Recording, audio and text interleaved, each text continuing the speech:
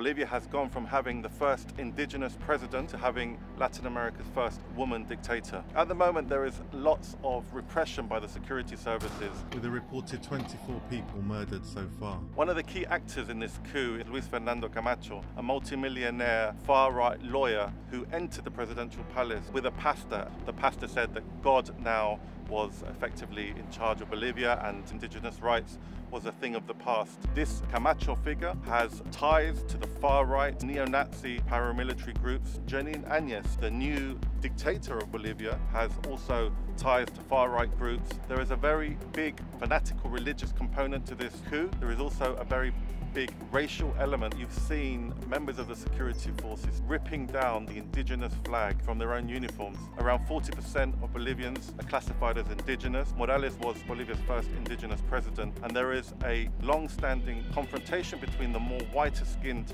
Bolivians who oppose his policies of empowering the indigenous marginalized population.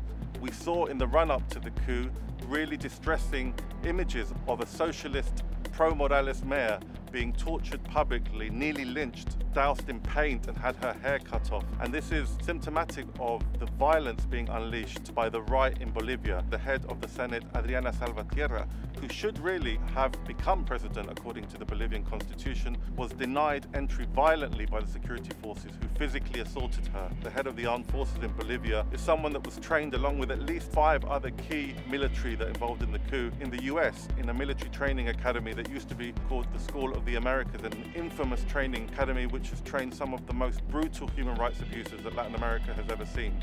It's also worth noting Bolivia has 70% of the world's recognized lithium reserves. Lithium has been called the fuel of the future, needed for things like electric cars. In Chile, the number one producer of lithium, the government has almost given away its lithium industry the Western multinationals. In Bolivia, Morales was trying to cut deals with the Chinese firms to add value to lithium production. This was happening just in the months prior to the coup. There is a kind of cold war going on between the West and China. Only recently at the UN, Evo Morales gave a strident denunciation of Trump to his face, something which is very rarely done. Policies that were enacted under the Evo Morales government led to uh, almost tripling of the economy, led to an expansion in healthcare, in education, in other areas which benefited those that had been previously marginalized and exploited. Any government that tries to reclaim its natural resources for the benefit of its population get identified for regime change. There seems to be an attempt to downplay the fact that it was a coup. You've had the Wall Street Journal almost celebrating the coup. We've even had the most ridiculous headline in the Australian saying that the new woman president, Jeanine Áñez,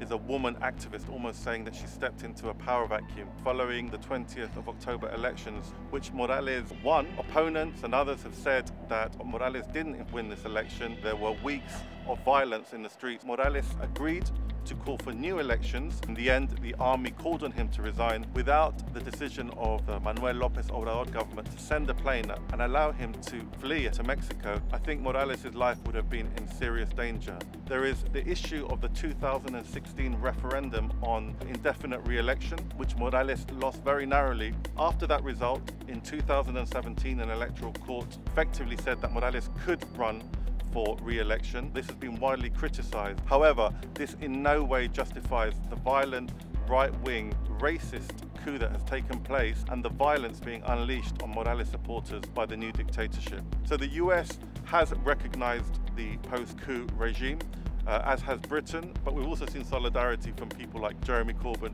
in the UK, Bernie Sanders in the US. At the end of the day, it was the military who intervened in that process and asked them to leave. When the military intervenes, hey, in my view, that's called a coup. And others who recognize that what's happened in Bolivia is a coup and can in no way be defended. There has been a resurgence of openly fascist figures like Bolsonaro in Brazil, in Latin America, and the new forces leading the Bolivian coup are very much in that spirit. Bolivians will continue to resist. The hope is that the dictatorship will be defeated and Bolivian democracy can reassert itself.